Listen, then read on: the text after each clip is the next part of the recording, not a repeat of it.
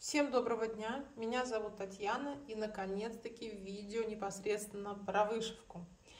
А, дело в том, что у нас э, в чате на моем телеграм-канале «Рукодельный Ули». Если вдруг вы не знаете, что у меня есть телеграм-канал, я оставлю ссылку под этим видео, оставлю ссылку на чат, потому что многие подписаны на канал, но не знают, что есть чат, в котором мы общаемся.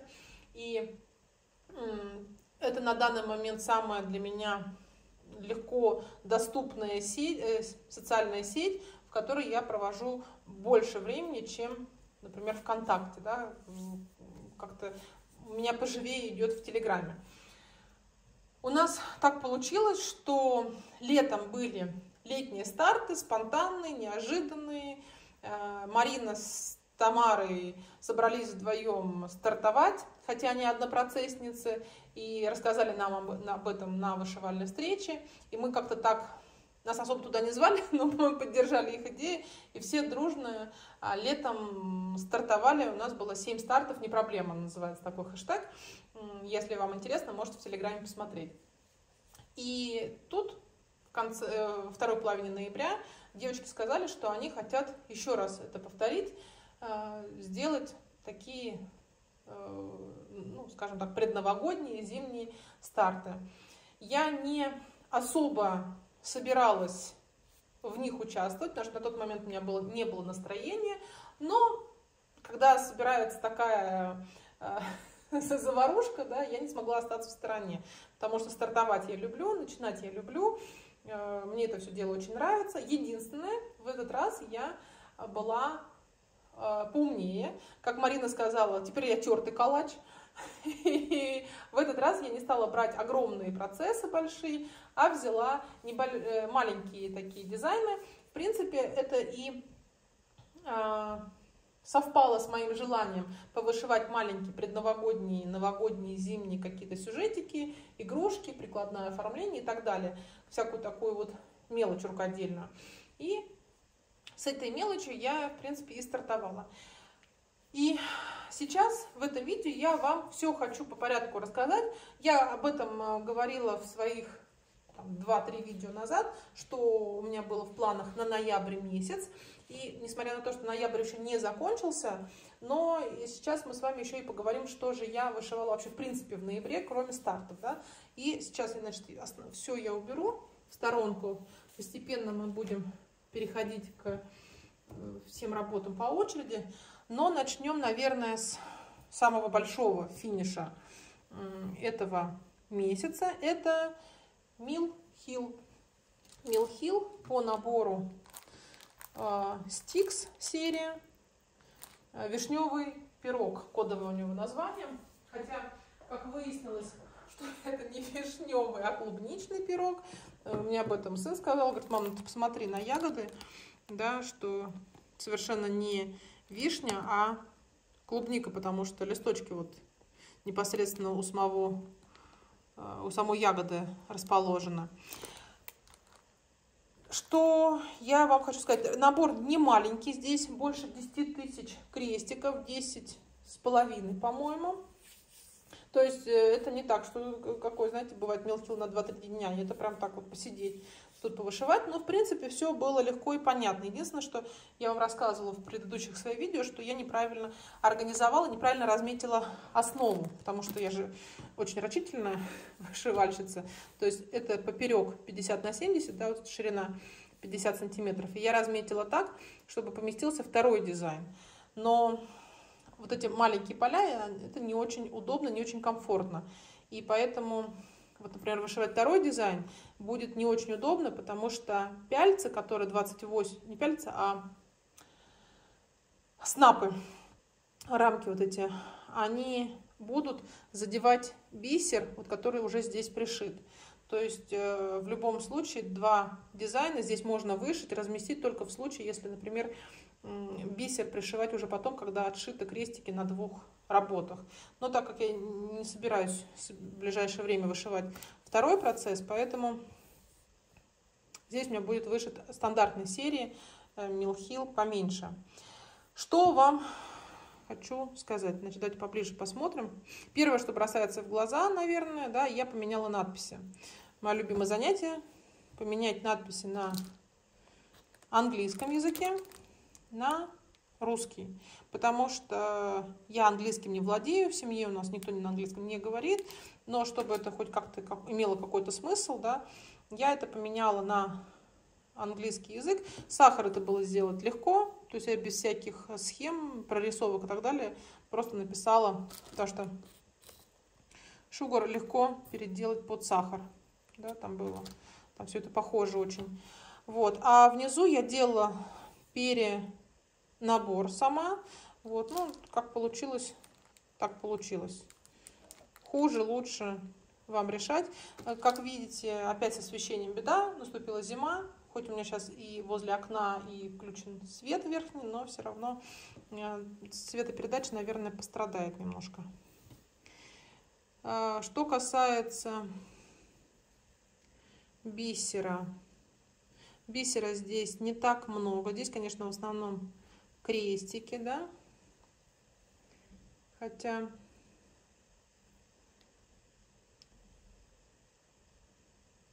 фокусировалась, да, хотя он тут есть. А, мне понравилось эту серию вышивать. Это немножко отличается от привычного милхила. Здесь нет пуговичек, да? много крестиков, есть бэкстич и есть бисер. Понравилась мне эта работа, нравится мне эта серия, но не вся, а там несколько работ, и вот э, некоторые у меня даже есть в запасах, что-то я, по-моему, даже заказывала. Продолжу еще вышью. Единственное, что хочу обратиться к нашим производителям деревянных рамок.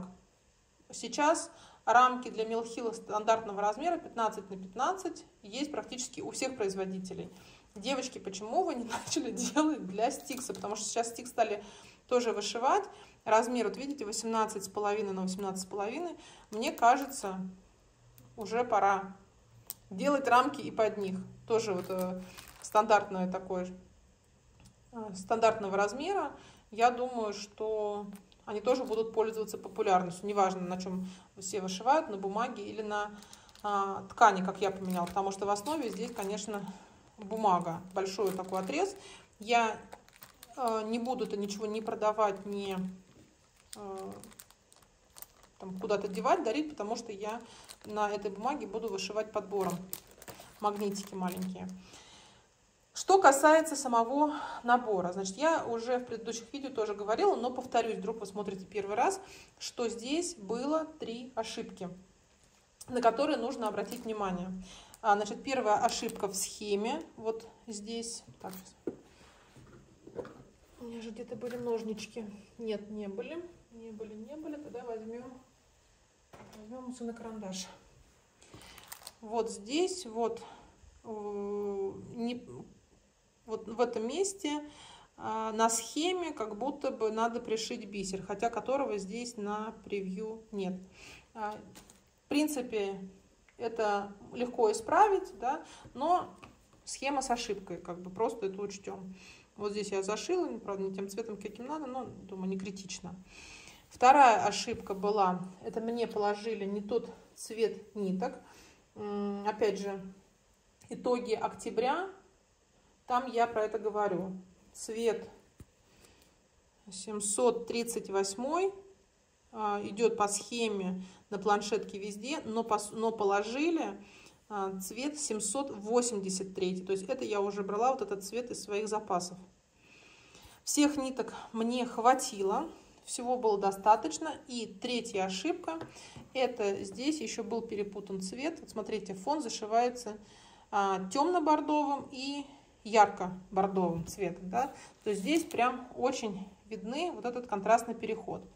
Но дело в том, что неправильно тоже был положен цвет. Был положен 815, причем я перепроверяла, что думаю, может быть, там я неправильно определила. Нет, все у меня было правильно. Был 815, я его сейчас сняла, да, он здесь намотан, вот такой темный. А основной фон зашивается 902 цветом. Сейчас я вам даже сравню, покажу. И они очень близки по цвету. Эти два номера. Они, конечно, отличаются, но очень близки. Вот. И это не потому, что у меня здесь какой-то цвет бракованный, например, там партия какая-то, это даже когда ты смотришь карту цветов, они рядом находятся, там, там есть отличия, но очень и очень незначительно. Конечно, при таком освещении это вообще практически не видно, да? Вот. И на самом деле нужен был цвет 816. Вот тогда а, вот эта разница здесь будет видна в фоне. Такая же вот эта разница, как на обложке. И такая же история вот с этим 815-816 цветом как раз была у Саши в другом наборе, а у нее набор вот с этим домиком. Я вот потом вспомнила, что тоже было связано с этим бордовым цветом. Поэтому будьте внимательны. Сейчас, конечно, вот этот стикс ну, я не знаю, как по остальным наборам. Вот я уже второй раз именно про стикс слышу, что бывают ошибки. Не критично, все это можно решить, но имейте в виду. Как говорила, ниток всех хватило. Сейчас все это я буду разбирать. Что касается бисера. Давайте с вами э, бисер посмотрим. в принципе, ничего особенного. Так, по номерам я вам тут не скажу. Я вам сейчас покажу. Вот все номера, которые здесь, да, вы, если надо, скрин сделаете, посмотрите уже точно. Который, вот этот черный, матовый, хотя не помню, что он коричневый, он используется только в тушке у пчелки, там всего надо, по-моему, 8, что ли, бисеринок. Его, конечно, здесь достаточно и хватит на еще один отшив. Вот такой вот прозрачный с розовой серединкой. Он используется в ягодках. Здесь тоже хватит на второй отшив. Это я почему вам рассказываю, чтобы если вы, например, собираетесь с подругой вместе отшивать, имели в виду. Который вот потемнее розовый. Так два. Видите, отличается. Он тоже в ягодках используется. Его, ну, прям впритык, наверное, будет. Может быть, если не хватит, то только совсем чуть-чуть. Темно-зеленый матовый. Тоже хватит на два отшива. Его не так много надо, он идет только вот в крышке здесь и в листочках. Так, красивый вот этот ярко-голубой с бирюзовой, с металлической серединкой. Он идет только на, видите, на тарелочке вот здесь. Да, здесь его хватит на второй отшив. Светло-голубой, такой полупрозрачный. Он используется, э, пришивается в яйцах и в крыльях у ос, осы, пчелы. Так, и вот здесь, по-моему, да, нет? А, нет, это, наверное, вот этот, это такой же, как здесь. Тот, который потемнее, вот он здесь. А вот этот светлый, он такой практически белый.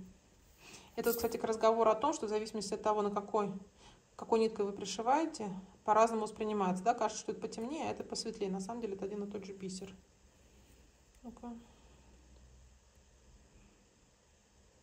Что у нас тут с фокусировкой? Вот видите разницу? Ха, нет, это я вас обманула, подождите. Так, вырезаем тут дубль.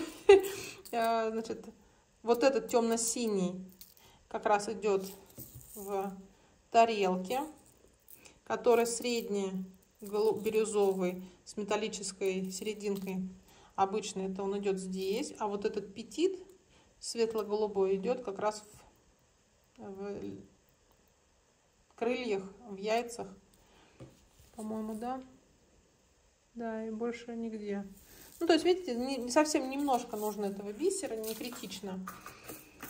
Много нужно матового, вот такого э, сливочного цвета, светло-бежевого цвета крю. Его на второй отшив не хватит, потому что его нужно в яйцах, в рукоятке у венчика, в сахарнице, вот здесь.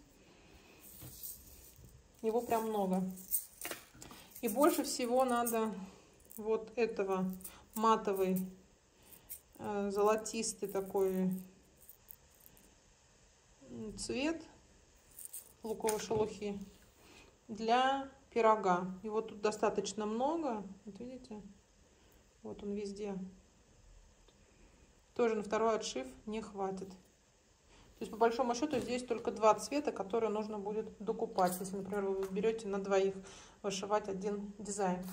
Я эти бисер весь оставлю в запас, потому что я буду подбором вышивать вот этот дизайн, который мне Саша подарила остатки. А там некоторые цвета э, пересекаются. И вот этот, по-моему, у меня куплен. Вот. Рада, что его завершила. Оформить вот теперь рамку бы где-нибудь найти. Да? Не хочется мне идти в багетную мастерскую, мастерскую, потому что вот я буду ждать, когда наши производители начнут делать стандартные рамки для стикс. И тогда вот уже оформлю. Им как раз, чтобы, например, можно было сразу три работы в одинаковые рамки оформить. Ну, как вариант. В принципе, мне это все не критично. Найдется рамка повешена на кухне, не найдется, ну, пускай пока полежит в запасах. Это был финиш ноября. И еще у меня финиш ноября, и не из стартов, а вот из моих текущих процессов. Это Blackbird Design, Garden, серия Garden Club, а, корзина с баскет с чем там, с ягодами, яблоками, ну, короче, с плодами с какими-то.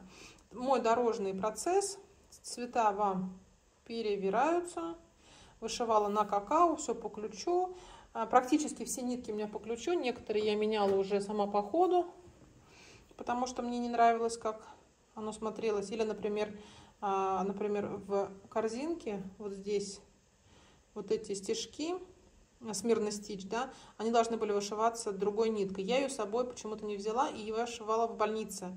И чтобы работу эту закончить, я просто вышила тем же, чем и была вышита вся корзинка. Думаю, это не принципиально. Вот достаточно яркий такой участок. И значит, в очередной раз я рассуждала про себя о том, что насколько не проработана эта серия, что цвета там выбраны просто из того, что было в наличии у дизайнера дома. Ну, то есть как-то с одной стороны не проработан дизайн, но с другой стороны а, серия это получилась интересная. Мне кажется, она самая популярная среди вот этих серий лоскутков, потому что у Blackbird Design у них есть а, серия Garden Club, есть серия с домиками, и есть серия Lusa Feathers, да, с птичками такая сине-бежевая. И мне кажется, как раз вот Garden Club, он самый популярный, на мой взгляд. Хотя Lusa Feathers у меня тоже там 4 дизайна.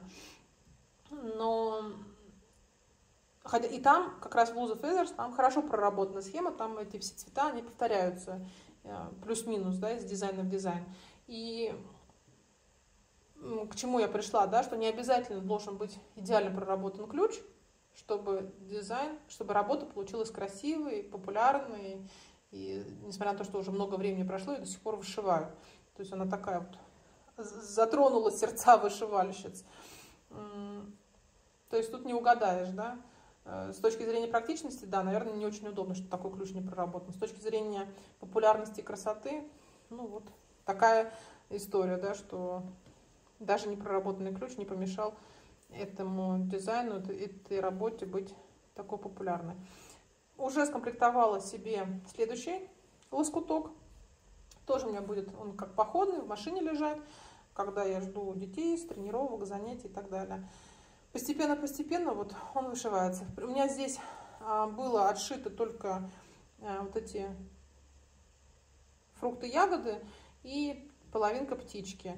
Все остальное я вышила за один день пребывания в больнице. Ну, то есть я ничем не была занята, только вышивала, и поэтому быстро закончила. Это я к разговору о том, что, в принципе, можно завершить очень быстро всю эту работу, буквально там за две недели, вот. Но я не тороплюсь, потому что мне удобно ее вышивать именно а, в дороге.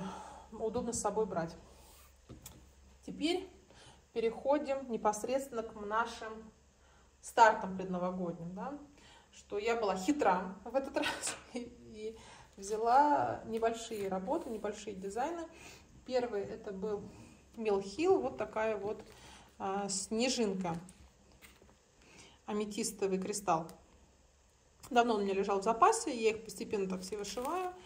А, здесь бумага серо, ну, такая серо-голубая, сизая, два цвета мулине, а, как они называют, цвет лаванды и белый цвет. И два цвета бисера, один цвет э, стекляруса, но два разных размера. То есть есть стеклярус покороче, есть стеклярус подлиннее.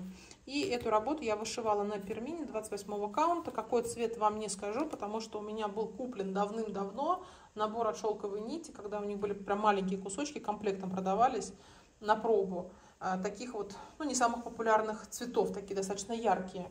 И вот я эти использую кусочки, очень удобно как раз для таких маленьких дизайнов прикладных. И здесь, посмотрите, вот цвет основы и цвет льна, он очень похож.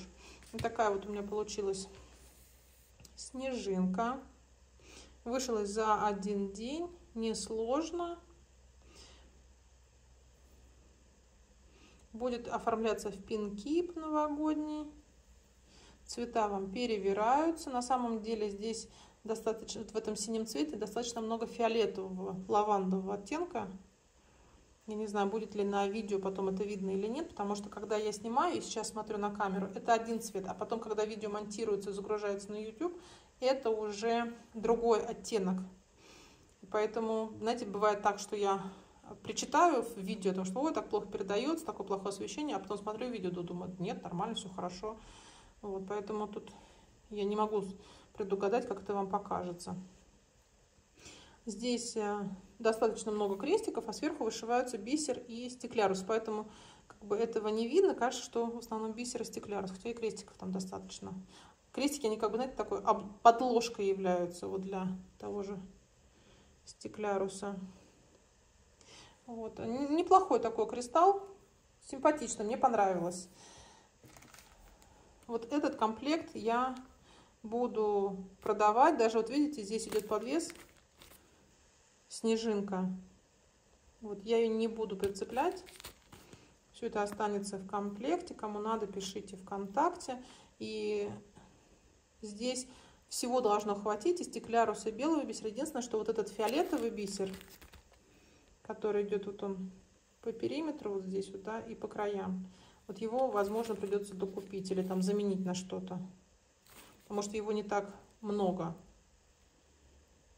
Вот видите. Это мой был старт-финиш. Меня, конечно, надо мной посмеялись э, в чате, сказали, что это нечестно. Такой старт, что сразу же в этот же день и финиш. Но опять же, это так совпало, что я была в больнице, и поэтому у меня э, было достаточно времени, я это все завершила в один день.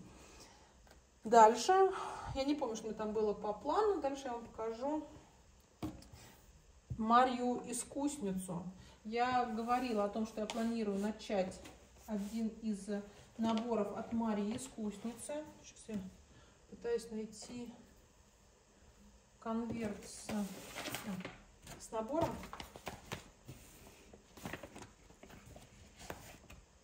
Я, как обычно, тороплюсь, потому что мне дали два часа свободного времени, один из которых я уже потратила на первое видео, которое наверняка вы уже вышло на канале. Сейчас я тороплюсь снять второе. Так, значит, что здесь у нас? Как мне нравится, как выглядит сейчас на экране вот этот цвет. Мне очень нравится такой вот синий глубокий оттенок. Это ангел Рождества от Марии Искусницы. Начала я с вот этого ангела с колокольчиком. Ну, мне, в принципе, было все равно, с чего начинать. Я у сына спросила, он говорит, начинаю вот с этого. Ну и хорошо.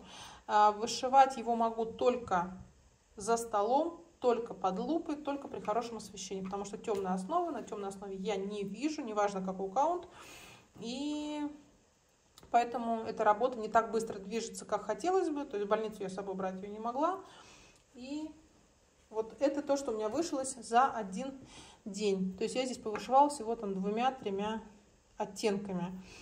Э, видите, немножко по-другому выглядят цвета, этот более холодный, этот более теплый, не знаю, с чем это связано, то ли потому, что у меня здесь основа немножко другого оттенка, да, может быть, просто здесь цветопередача страдает на превью.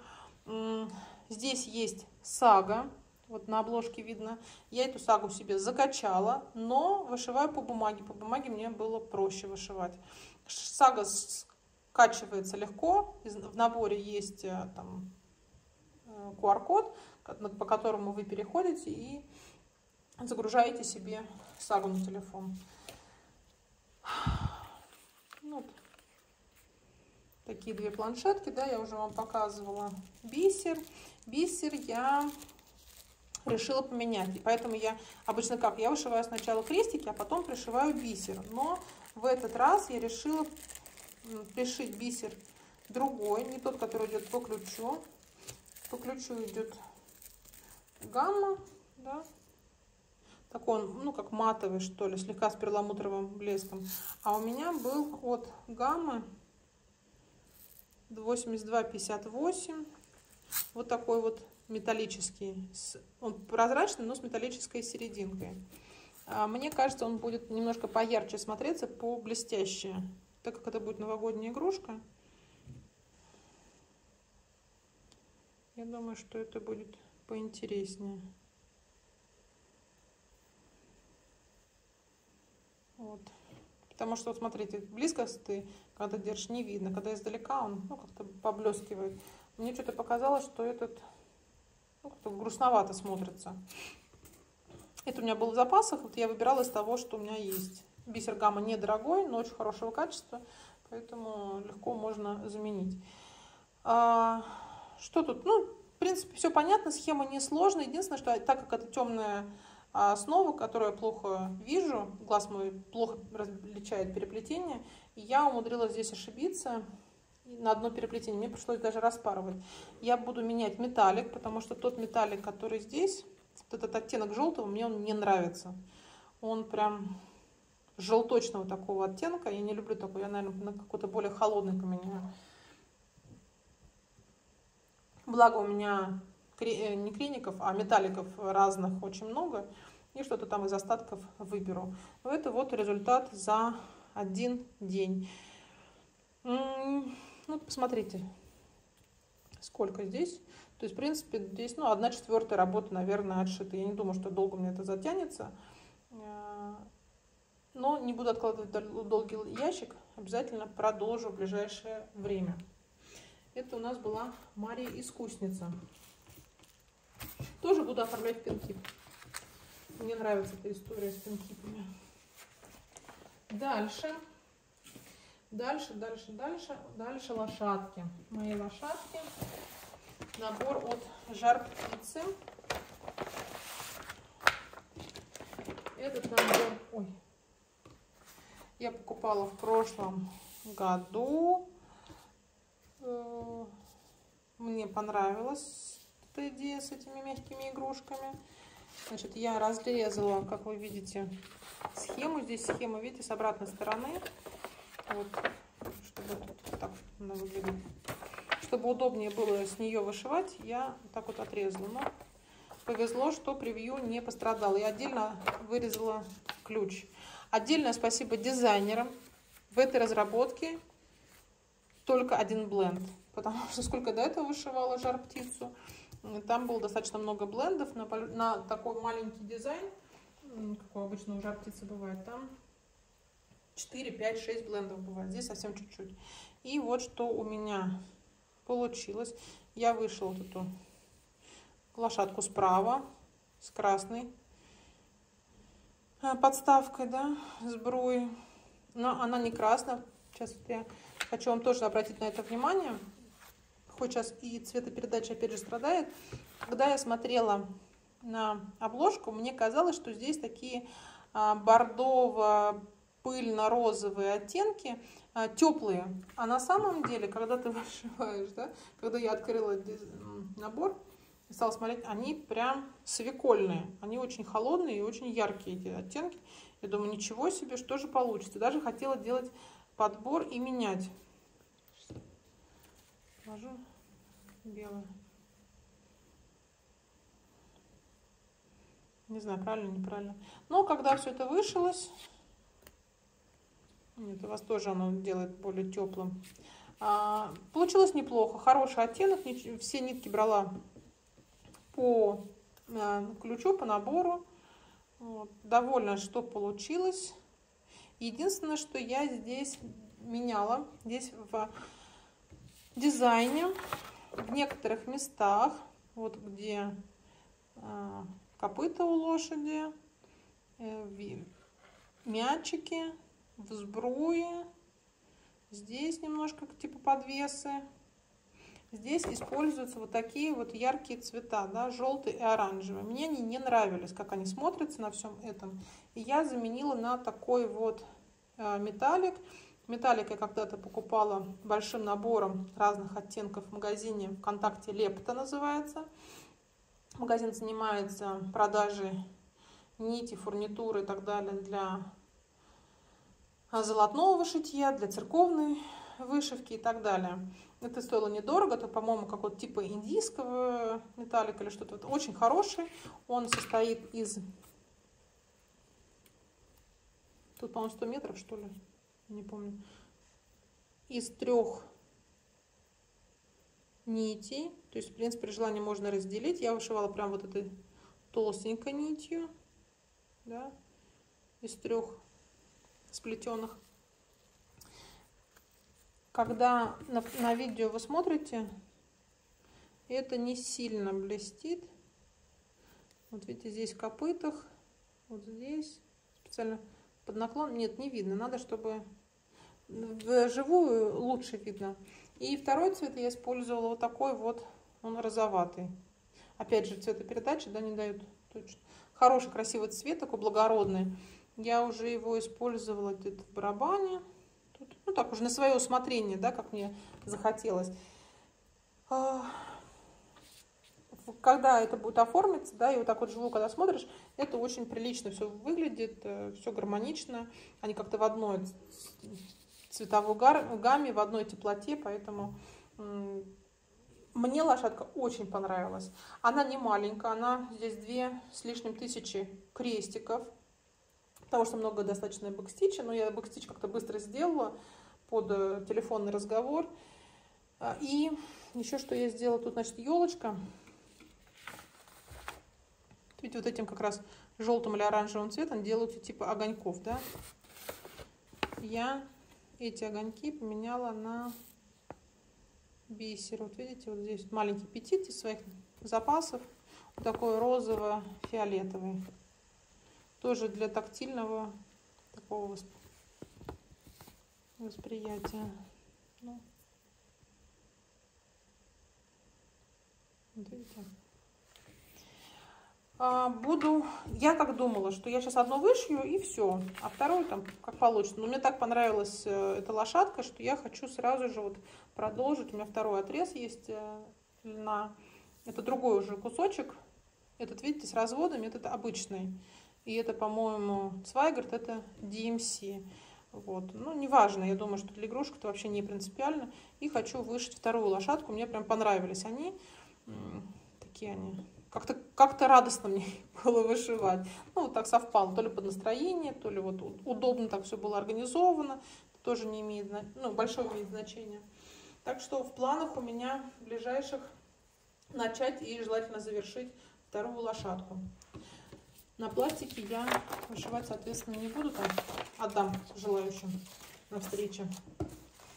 Это мой был второй э, старт, тоже, ну, можно сказать, что финиш, потому что я заявляла только одну лошадку. А, третий финиш, который у меня случился уже вчера, уже ну, закончились давно наши старты, э, но я, значит, продолжаю их вышивать. Это Нора Корбет, а, и сова. Это триптих такой у меня будет. У меня все три схемы есть в наличии. Там сова, заяц и а, медведь. Начала я с совы, потому что она мне меньше всех нравилась. Это как раз та сова, про которую я говорила в предыдущем видео, что раньше я сов не вышивала. Сейчас это моя первая сова. Такая, тем более, полярная, да, северная. Значит, у меня вышив... вышивается на Белфасте 53 оттенка, который потемнее, натуральный цвет, я буду делать вот такую вот длинную панельку. То есть первая сова, потом будет а, заяц, русак, беляк, и внизу будет белый мишка. Они получаются не маленькие, эти дизайны. Я даже была удивлена. Как-то, когда я смотрела на схему, да, я думала, что это, ну, будет поменьше. А это вот моя ладонь, моя ладонь большая. То есть это, даже не знаю, с чем вам сравнить. Это только роботы под руками. Ну, скотч бумажный, вот видите. Ну, большой, большой дизайн. неожиданно для меня получилось. Но вроде должно все поместиться. А, что хочу сказать. Двойственное у меня впечатление. С одной стороны, в итоге я довольна результатом. Мне понравилось, что получилось, но мне не понравилась схема абсолютно. Здесь хороший плотный буклет, внутри вот так вот схема, да. Но схема, смотрите, я не стала делать копию, у меня не было возможности, даже потому что в больнице я была. Тут значки, видите, 6 и S, очень похожи. И очень сложно глазу из-за какого-то странного шрифта вы, вычленять вот эти разные значки. Вот эти U, S, 6. То есть мне приходилось каждый крестик сверяться. Конечно, если был бы перенабор, или была бы схема, на которой могла бы там расцветить ее, раскрасить разными оттенками, было бы проще. Но у меня такой возможности не было, поэтому было сложновато. Самая красота здесь вот в этих веточках, которые несет сова в своих лапах. Ну, это, не знаю, что, веточки ягодные, новогодние какие-то.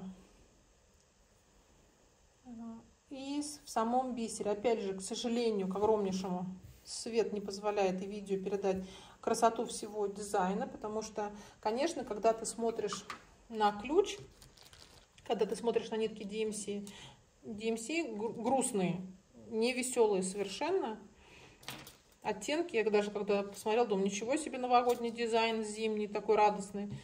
Он такой, так себе подборка цвета. Вот видите? Ну, ну ужас ужасный. А, ну вот еще желтый у меня был. Чуть-чуть. Некрасиво. Здесь, конечно, сама сова, она вышивается...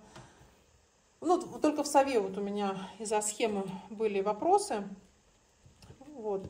А все остальное было интересно, потому что, а, потому что э, низ я вышила полностью шелком. Там по ключу идет э, нитка Karen Water Lilies, но у меня была не оригинальная нитка, а то, что мне покрасила Наташа Смирнова.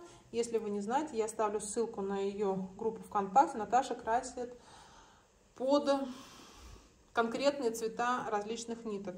У меня должен был быть цвет 083 э, Pine Forest Water Lilies. Вот. Наташа очень красиво, хорошо покрасила. Это шелк для вязания, по-моему, итальянский, если не ошибаюсь. Цвет очень похож на то, что должно быть а, в реальности. Очень близко Э, к сожалению, у меня нет вживую, да, вот Орлилис, чтобы сравнить, но по всем фотографиям, сколько я смотрела в интернете, все прям вот один в один. И низ самый, сейчас мы даже на, с вами на обложке это посмотрим. Посмотрите. Опять же, цветопередача, потому что вы не смотрите, здесь, видите, она более желтая, даже сова другого оттенка, да. А, здесь тоже видны вот эти полоски, и, отлич... и вот эта основа. Вот эта основа вышивается, которая темная, цветом 500.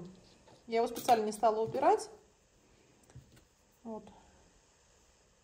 Ой, ну вообще ничего не видно. Вообще черный смотрится. Даже не знаю, как быть. Сейчас попробую даже эти лампы включить. Включила лампу, стало еще хуже. Она вообще там дает другие совершенно оттенки. Ладно, будем приспосабливаться как есть. Значит, цвет 500. Ну, вы наверняка его знаете. Это темно зеленый бутылочный такой оттенок. И даже здесь на обложке видно, что как такая сильная граница между вот этим Water Lilies, ручного окрашивания, да, и вот этой основой из 500 цвета.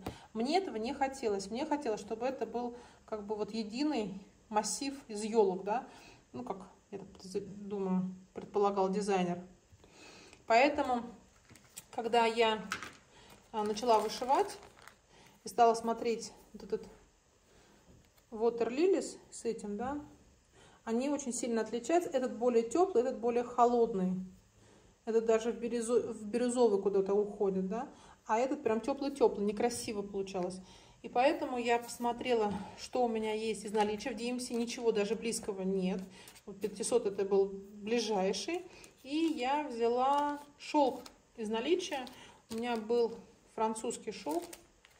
Сейчас, секунду.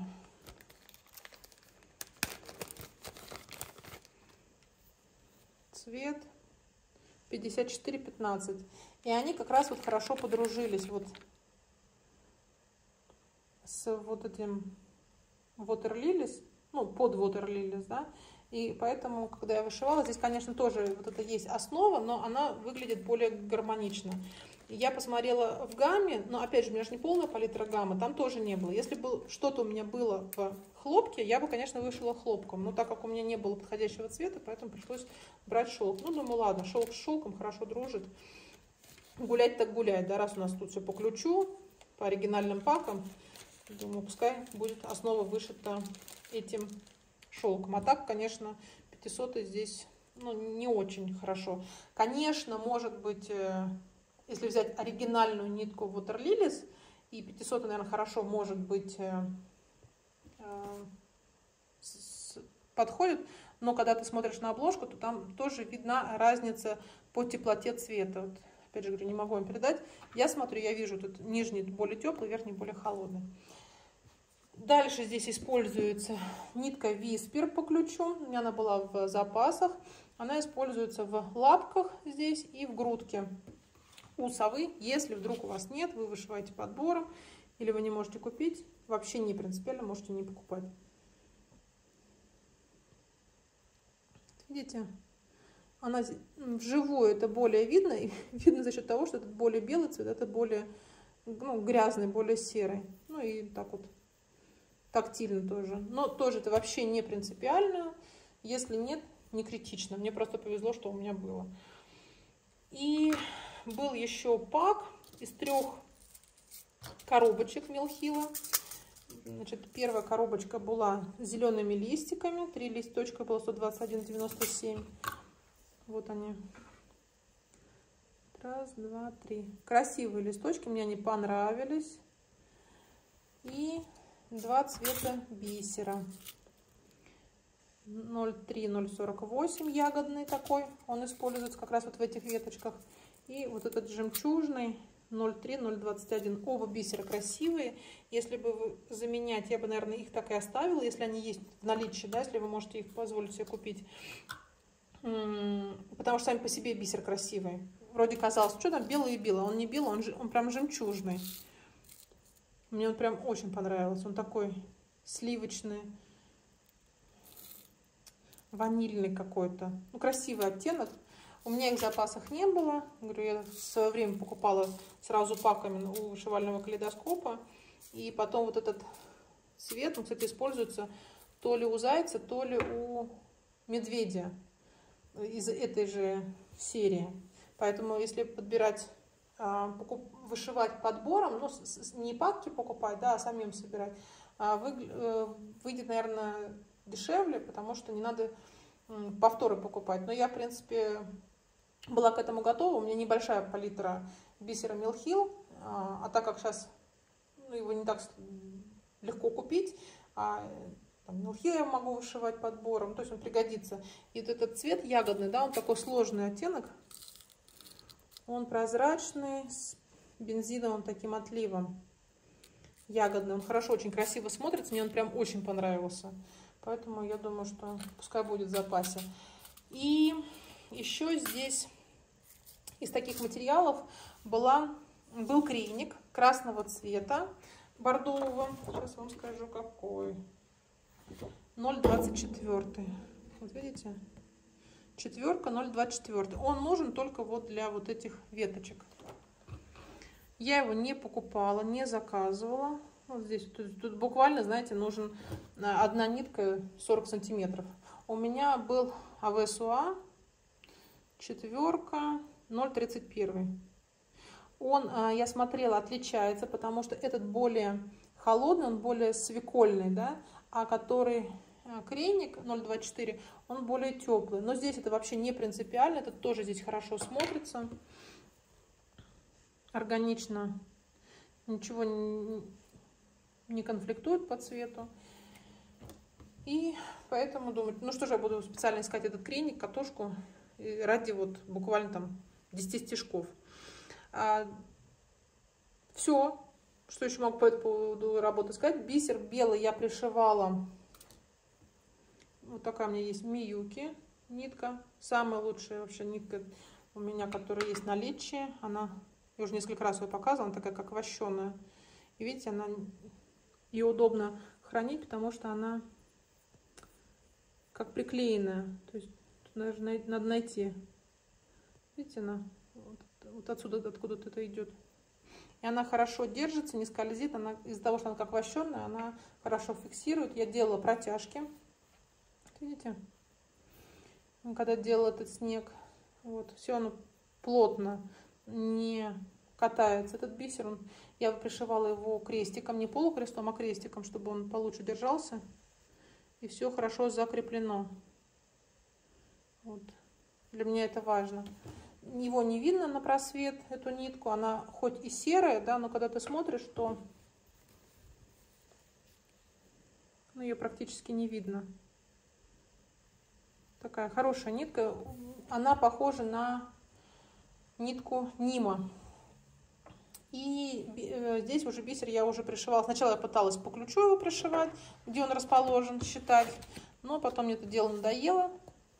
И уже там, как меня понесло, так я и пришивала. Ну, старалась только не переборщить. Вот. Буду дальше продолжать эту серию, но уже, не знаю, может быть, после Нового года или, может быть, в следующем году. Пока что меня эта сова, конечно, э, так, нервы мне ну, не помотала, но уже дошивала на морально-волевых. Тоже, в принципе, это несложный дизайн, здесь его можно вышить за два дня. Он небольшой, э, мне кажется, заяц и медведь по более трудоемкие. Но у меня что-то ощущение, что там схема попроще. Здесь вот именно вот эта мешанина в крыльях и в туловище у совы. А, все, это все, что касается данного дизайна. И что касается финишей. Пока что у меня больше финиша нет. Но еще у меня есть начатые процессы, которые я начала. Сейчас мы к ним перейдем. Еще я начала в рамках 7 процессов не проблема. Дизайн от дизайн от э, Jasmine. Тоже очень известный популярный дизайн. Его, мне кажется, купили все да, ну или, то если не купили, то хотя бы видели. А, я его покупал тоже в швальном калейдоскопе полным комплектом. Там можно было купить комплект в шелке, можно было купить а, DMC самим собрать. Я вышиваю в DMC. И выбрала, по ключу здесь белый цвет должен быть кэшел. Сотый или 101 кэшел white. Да, ну сотый, наверное. Здесь ключ такой. Я вышиваю на льне 53, а, тоже который потемнее, который потемнее и похолоднее, скажем так. У вас он сейчас передается более теплый, более желтый, потому что освещение э, потолочное включено, и поэтому ну, чуть-чуть немножко искажено. Это то, что я вышила за один ну, день, даже вечер вот так вот у меня получается. Э, это следующая работа. Сегодня я надеюсь вечером продолжить.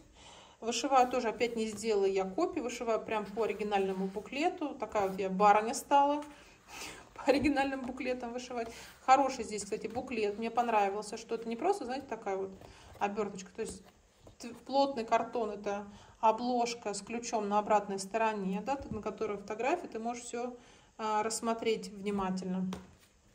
Схема отдельно на хорошей бумаге. И отдельно есть на бумаге пояснения и стишки. То есть э, понятно, почему Джастнен берет такие деньги за свои буклеты. То есть как бы за такое я готова платить, потому что это на самом деле удобно, здесь все продумано, хорошее качество, чем, например, как, что у меня было, Скарлетт Скарлетт Хаус я покупала схему. Это как будто бы я распечатала скрин из интернета. То есть, э, когда ты человеку даже кому-то показываешь эту схему, кажется, что это копия, да, а не оригинальная схема, которая тебе пришла с 1, 2, 3 стич. Вот здесь все понятно, что это ну, хорошего качества все сделано. Джастин молодец. Значит, э, у меня здесь вышито... Так, карандаш. Теперь карандаш потерялся. Секунду, берем следующий карандаш. Значит, у меня здесь вышито раз, два, три, четыре, пять, шесть, седьмой. А, седьмой уровень я начала вышивать. А, значит, в первом уровне я не пришила еще бисер, потому что надо будет переставлять пяльцы, чтобы не повредить. И здесь нужны будут слова. Вот я еще здесь ничего не придумала, поэтому ничего не, ну, не зашивала. Вышивается интересно. Это мой Второй начатый Джаслин, первый у меня, который дом со львом. А, но из маленьких это первый такой панелька, да, вышита. Э, интересно вышивается, ничего вам не видно. Единственное, что у меня тут уже тоже пошли замечания по разработке. Вот, вот здесь вот была мешанина. Ну, как сказать, то есть надо было постоянно крепить нитку, менять. Но, в принципе, ничего в этом страшного нет, да. Это особенность всех маленьких дизайнов. А, это вышивалось перле, перле восьмеркой. Вот на свой вкус бы, да, я бы поменяла не восьмерку, сделала бы 12 более тонкие, потому что, когда ты смотришь, мне кажется, выглядит чуть-чуть грубовато по сравнению со всем остальным. Вот эта нитка, она толстовата. Я бы взяла 12, наверное. И здесь то же самое. Перле, восьмерка, она на мой взгляд, толстовато выглядит. Э, это вышивается в одну нить. Вот здесь вот этот, э, как это называется, не уровень. Все. Наркоз подействовал э, серьезно на мою голову. Я вообще проваливаюсь иногда в памяти. Ну, короче, этап. И вот этот стежок сложный, да, ну, как он не сложно, но такой непростой. Там дается описание, все понятно, но предлагается вышивать в две нити. Мне в две нити категорически не понравилось. Поближе вам показать. А, вот, вот так это делать. Там на кнопочке, оказывается, нажимать. Мне не понравилось, потому что было грубо, было здесь какая-то мешанина, вообще не видно этого стежка как будто бы, знаете, там ты напутал что-то. И я по-разному пыталась и похожий делать стежок, и не похожий в две нити. В итоге, короче, когда я сделала одну нить, вот тогда у меня все сошлось, тогда это выглядит изящно, тогда это выглядит аккуратно. Вот, хотя по ключу надо в две нити. Да, а тут наверху я вам говорила, еще бисер должен быть. Здесь, кстати говоря, здесь делается вот смирно стежки. Ну, это болгарский крест. То есть, когда крест делается по диагонали и по, ну, по прямой вот так вот, да. Вот. Но их не видно. Да, они более объемные, да, они более выпуклые, но на самом деле, если не знать вот так вот, то никогда и не догадаешься. Причем, по-моему, тоже я делала... Сейчас, подождите, посмотрю. Я тоже, по-моему, делала в две нити, как надо по инструкции, но вообще можно было делать в одну. Тогда, может быть, это было бы поаккуратнее. Что у нас тут используется? Перле восьмерка белая, восьмерка 931. Ага, вот так. И восьмерка 932. Кре... Не крейник, а ВСУА металлик четверка 001 серебристый. Вот, мне кажется, вообще любой можно серебристый брать. У меня здесь э, первое, где понадобился этот металлик, это вот, вот здесь вот первый тоже смирно стич, по-моему. Да. Но они выглядят как бисеринки пришитые издалека. Вот ну, такая вот нарезка у меня DMC. А, Все, буду продолжать. Нравится, что получается. Единственное, что тоже э, всегда как бы я за то, чтобы не идти э, слепо по ключу, по дизайну, потому что э, дизайнер тоже человек, он тоже может что-то там не доглядеть, ошибиться и так далее, и не бояться привносить свои изменения.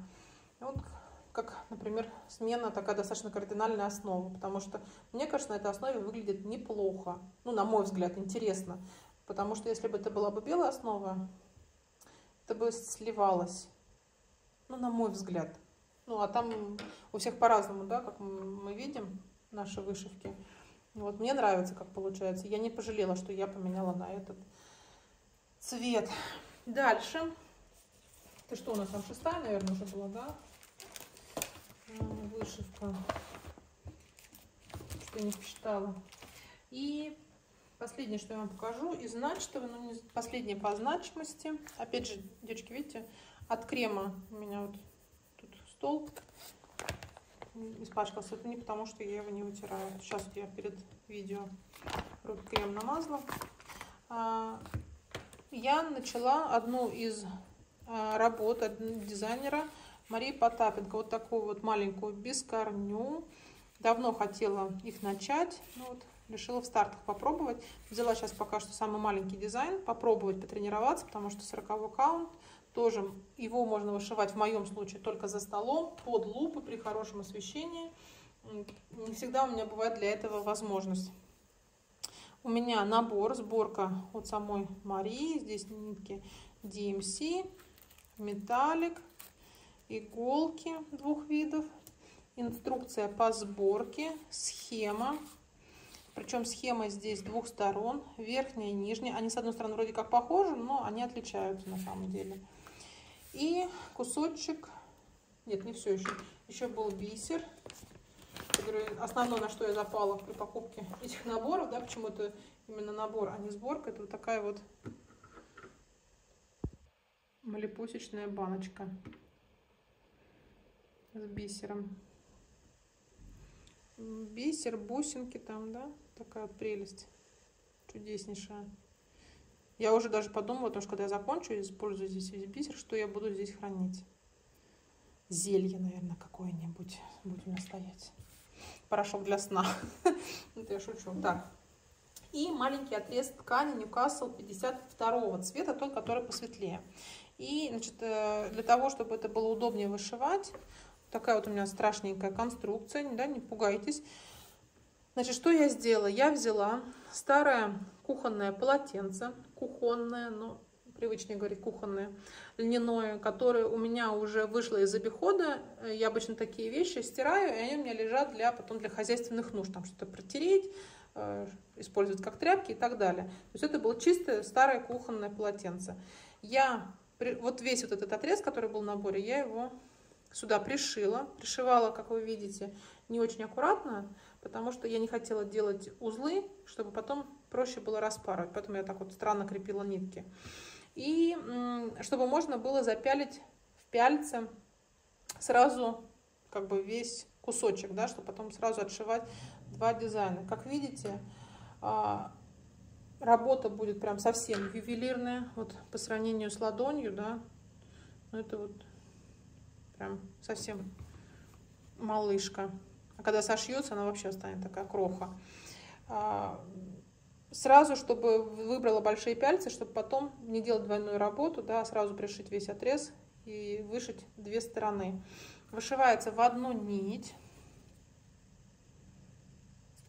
Опять ничего уже не видно. А, вышилось совсем чуть-чуть, потому что в тот день, когда я начала этот процесс, у меня было не так много времени. Опять же, это нужно вот под лупой, за столом не торопясь, внимательно все считать. А, у меня сколько было времени, столько вот я на это и потратила. И большую часть времени я пришивала эту основу, потому что надо было обработать клеем края, да, чтобы они не стали обсыпаться, иначе кусочек а, будет меньше, и вдруг мне не хватит, то есть чтобы здесь были края достаточные потом для оформления. И Вышивать тоже надо внимательно, чтобы ни одно переплетение никуда не, не убежало. Это геометрическая форма. Здесь надо, чтобы все потом сошлось. То есть надо внимательно за всем этим следить.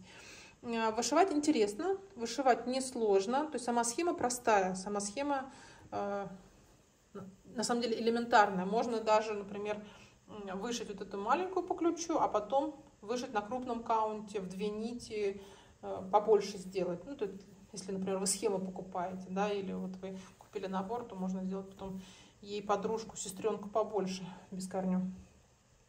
А, обязательно буду продолжать, ну, понятное дело, потому что мне нравится вот эта такая нежная история.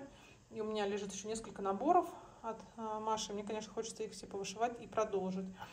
А, я сначала как сделала? Я пришила сначала швом назад иголку этот кусочек льна, а потом а, просто вырезала с обратной стороны. Сейчас я вам покажу, не пугайтесь только. Это выглядит не прецедентабельно, но вот так вот, да, это выглядит с обратной стороны. Вот здесь, видите, у меня уже что-то нитка порвалась тоже. Я просто вот потом вырезала по краю лишнее и вот так вот вышиваю. А, все. А, нет, не все. Это все, что касается стартов. Эти все работы я сейчас буду продолжать в ближайшее время. Есть у меня еще в планах один зимний процесс, но я пока еще думаю. Что-то я не... попыталась несколько раз начать. Вернее, даже не то, что начать собрать материалы, но что-то не идет у меня. Посмотрим, как получится. А пока что буду вышивать то, что есть, из своих начатых процессов. И еще я вам хотела показать неожиданный подарок-сюрприз, который мне вот не, прям совсем неожиданно пришел от Лены, хозяйки магазина а, и канала вышивального блогера X Stitcher Dreams. Да, я же правильно говорю?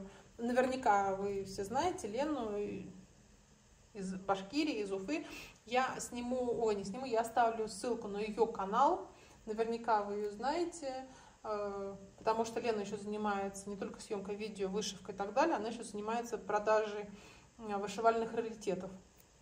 И а, Лена мне написала как-то в Телеграме, э, Таня, тебе, наверное, на почте ждет посылка это было очень неожиданно для меня. Вот, э, я с огромным интересом и любопытством побежала, конечно, на почту.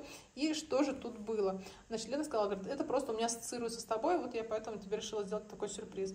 В посылке была такая прекрасная открытка, красивая, с очень приятными, добрыми, теплыми словами. Лена, спасибо тебе огромное, мне было невероятно приятно.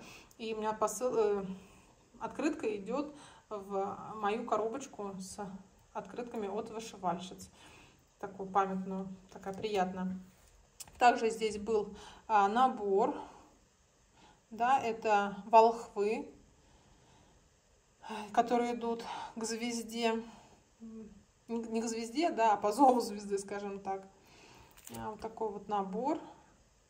Ну, это, я так понимаю, что к празднику, да, к, к новогодним рождественским праздникам. Но самое главное, из-за чего, значит, Лена собрала посылку, это вот такой вот журнал. И как вы уже видите, с чем я у Лены ассоциируюсь, да, но не только, наверное, у Лены, но еще у других, у большинства вышивальщиц, это улей, не просто улей, а он рукодельный. Представляете, здесь ножнички, наперсток, а, квилтовые, а, лоскутные одеяла, маячок тут, да.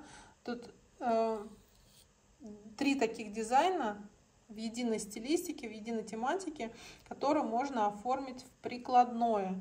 Я, конечно, когда увидела, просто обалдела от этого дизайна, мне очень понравился, я никогда такого его не видела, ни в интернете, ни в сканированных схемах, никогда. Вот. Ну, то есть, понимаете, рукодельные ули это уже за, все придумано задолго до нас. И сначала мне показалось, что схема будет сложная, потому что это старый американский дизайн, да, где квадратичный back, и обычно они такие, сложная, сложная проработка. Но на самом деле, когда я посмотрела, элементарнейший дизайн, я обязательно его вышью. Я прям даже вам покажу, как он выглядит. Видите? Несложный совершенно дизайн. И это что-то будет прикладное. Это может быть конверт, игольницы, что-то для нашего хобби. Здесь вот маячок, да, ножнички. Лена, спасибо тебе огромное. Мне невероятно приятно, что ты про меня вспомнила, что ты мне прислала такой замечательный подарок. Это, конечно, вообще и бордюр тоже такой, он как с пчелками, да. А, это не бордюр, а закладка, но его можно как бордюр использовать. Кроме вот этого э, комплекта А это что? Это подсолнухи, да, sunflower наш. То есть все мы тут рядом э, ходим. Вот такой вот полное описание, да, что здесь можно сделать. Это сделано конфетка, э, ролл, да, тоже можно сделать в таком формате. Мне прям очень понравилось, вот прям очень-очень. И здесь еще есть э, дизайны интересные. Снеговики. Сейчас вам покажу, что мне еще понравилось. Причем тоже, да, странно, зимний такой дизайн, вот прям он, он очень сейчас подходит, но при этом с рукодельным ульем. Так, снеговики. А, вот этот мне понравился очень снеговик. Причем, видите, его можно сделать как... А, предлагается здесь сделать коробочку, вышить его на пластике, да, сделать края. И будет такая вот коробочка для подарков. Можно сделать подвес игрушку. Можно мягкую игрушку сделать. Он вообще элементарный, простой, но выглядит симпатично. Вот, видите, здесь как. А можно коробочку сделать. Ну, я сборку боюсь, поэтому вряд ли. И вот такой вот здесь есть дизайн. Такие колокольчики под елку.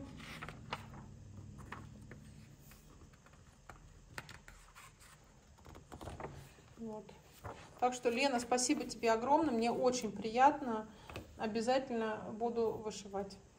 На этом все. Все я вам показала, все рассказала. И э, надеюсь, вам все понравилось. Увидимся в следующих видео. Спасибо за просмотр. До свидания.